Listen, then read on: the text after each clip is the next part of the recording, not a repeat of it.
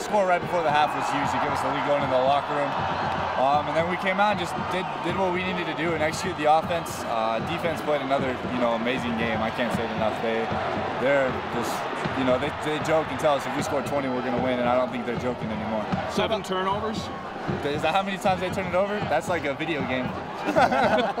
this group of guys we got here is special and uh, get get ready to look for good things in the future. How's this going to springboard you with Pac-12 games coming up? Because I mean, there are so many questions coming in today, and it seemed like maybe you've answered some of them. How's this going to be the team going to bye week, getting ready for Pac-12? I mean, it's always good to go on the bye week on a win. You know, we'll look at what we didn't do well, try and fix those things, and try and look better uh, when we play Washington.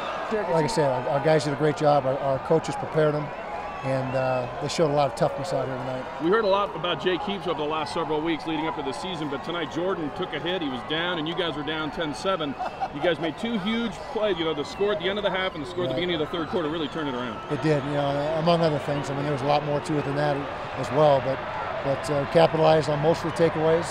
Uh, played good defense all night long. Uh, very pleased with the defensive effort, and it took us a while to get going offensively. Once we picked up some momentum, uh, we put it into high gear. It's been so hard for anybody to run against this defense. John White broke out in the second half. He did, and credit the offensive line. There's some gaping holes there, uh, and it's a, it's a combination of the offensive line moving people around, and John White hitting the holes and and uh, doing his thing. Talk about the O-line next. John uh, Bergstrom goes down. Yeah, couldn't be more proud of uh, Percy Lau. Came in when Bergie went down in the first quarter and played like a champ. Did a great job. Can you take a look right up there? What's, what's that look? What's that look like to you? There you go. There's our Ute faithful. There's the MUSS best student section in the country, and uh, we'll talk to them right And here at LaVell Edwards Stadium doing this. There you go. There you go.